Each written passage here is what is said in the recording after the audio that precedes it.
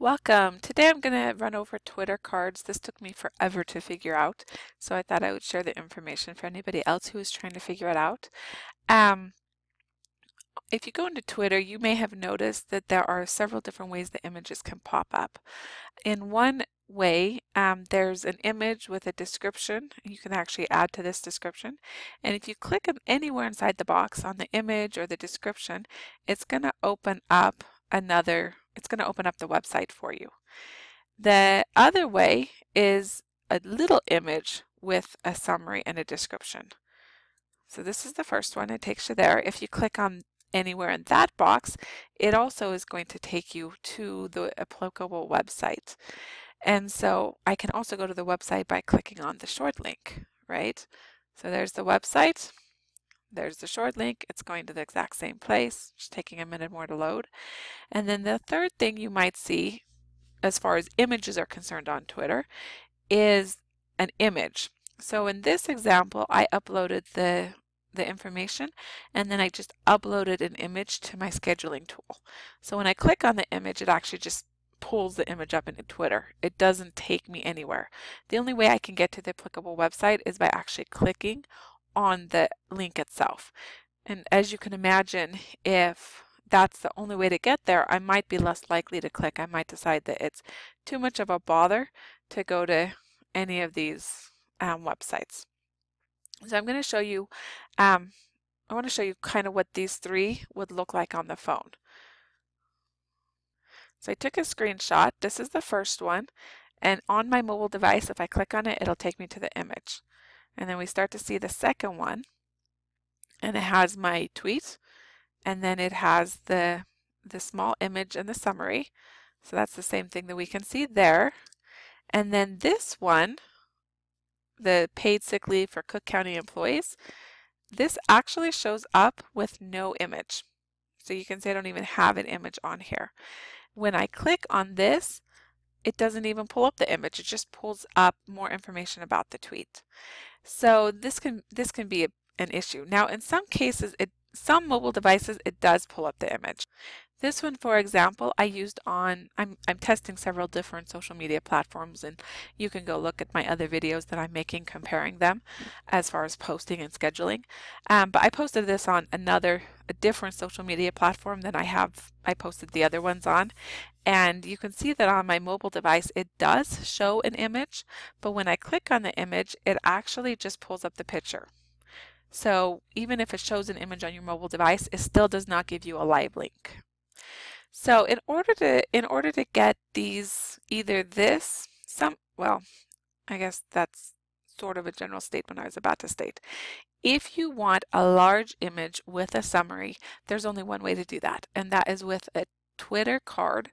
Twitter cards are um, basically code that you put into your website, and it tells Twitter how to post this. A Twitter card will give you the ability to have this large image and the summary. In my opinion, this is the best way to go because images are beautiful and we're visually oriented. Some social media platforms, uh, such as Buffer, um, MeetEdgar.com, and um, Zoho Social, they will they'll post this preview automatically. So even if you don't have a Twitter card, you can do this with a Twitter card on any, like Hootsuite will not post an image unless you have a Twitter card.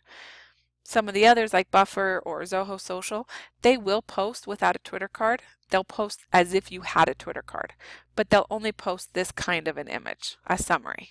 I actually did this with Zoho Social. I did another one, like I did this one with Buffer. So I was experimenting how the different social medias plays.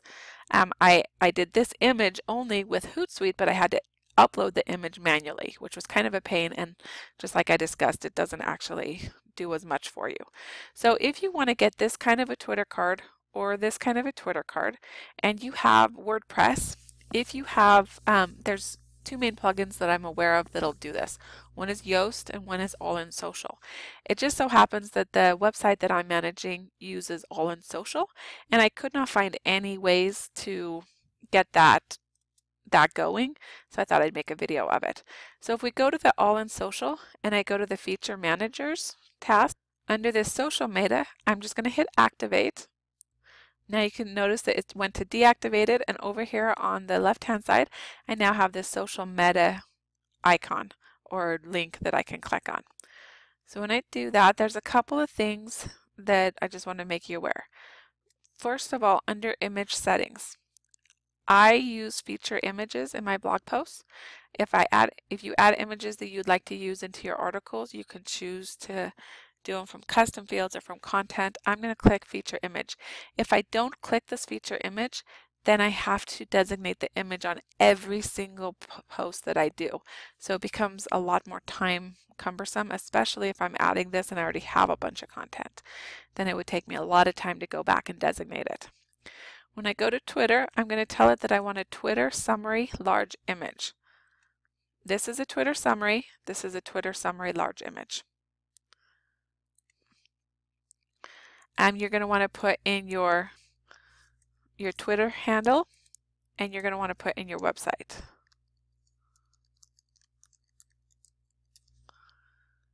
Now there are other settings, there are things here you can do with Facebook. I haven't explored those, so I'm just doing this tutorial on Twitter. So you're going to update your options, and now I'm going to go to my posts.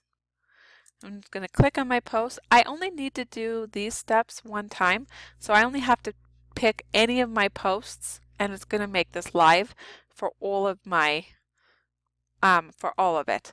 So I just want to show you this really fast. If I look at if I look at my I'm going to grab this link. Right now I've added the Twitter card, but I haven't actually finished activating it. So if I go to the Twitter validator, and I'll post this link on the description, and I validate the Twitter card, it's going to give me um, some Twitter card. But remember how I put Twitter summary large image? This is just a summary. So it is giving me a Twitter card, but it's not giving me that large image. That's because I haven't finished looking at it. So if I come back here and I scroll all the way down to where I have my SEO, which kind of always gets lost, you can actually move this down which is what I'm going to do.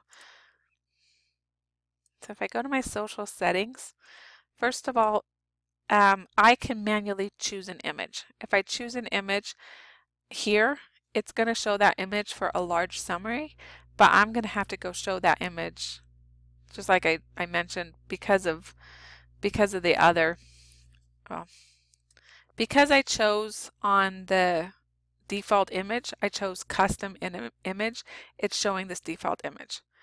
If I wanted to override that image, I could upload a different image and I could override it. If I don't have, if I just have a default, like I at that where I showed you that default, um, it's not going to show you any image at all. And then you're going to have to come into every single time and update that. That's kind of a pain. I didn't want to do that. But what you do want to do is scroll down here and choose summary large image and just update it. Even though that was already chosen it hadn't actually updated it so it hadn't actually um, you know it wasn't actually live. So let's do that. Now the other thing this thing you will have to do every single time. You'll notice if I go in here and I preview this I'm now showing a large summary. So even though I didn't actually have to change it, you might have to change it. Make sure that your individual page shows Twitter large image. Once you hit save, every page you have is going to default to this. But you'll notice that right here I don't have a description. And this is kind of a pain with the all-in-one SEO. I don't know if Twitter does this differently.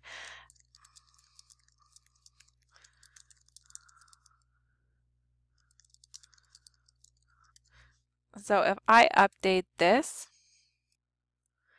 and I come back and I validate this, you'll notice that I'm going to get, let's do this again. I don't think I was completely loaded. Now when I click on this, it shows this uh, summary that I had. If you get this message, then this is this means that you haven't installed your Twitter card right, and I'd go back through those this tutorial and make sure you didn't skip any steps. or it means that you've got, you don't have it installed at all. Either it's installed incorrectly or it's not installed. So this is a different website I checked out. So once you do that, you will have these previews and you'll be able to um, hopefully increase your click-through rate to your website and get more traffic over.